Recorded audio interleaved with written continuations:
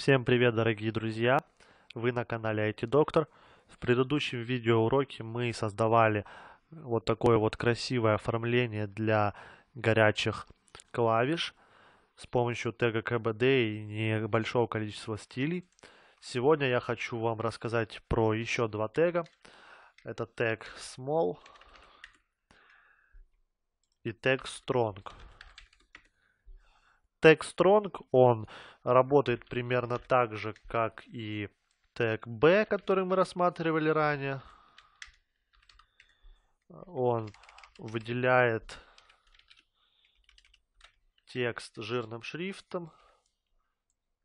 Давайте посмотрим. Э, поставим здесь BR для разделения.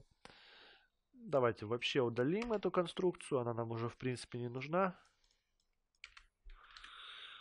Лорем у нас выделилось жирным шрифтом. В принципе, э, это все с тегом strong.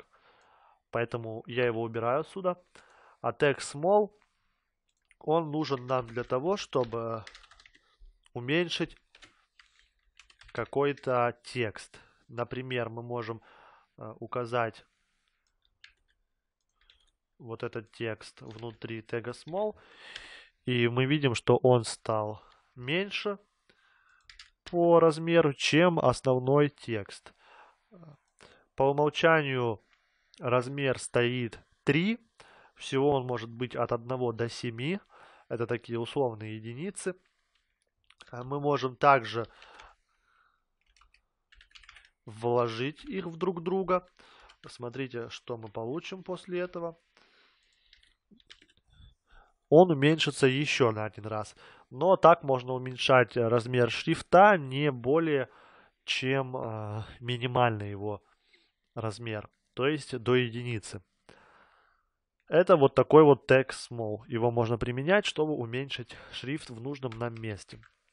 На этом у меня все. Мы рассмотрели два тега, тег small и тег strong. Подписывайтесь на канал, ставьте лайки, пишите комментарии под этим видео. И спасибо вам за внимание. До новых встреч.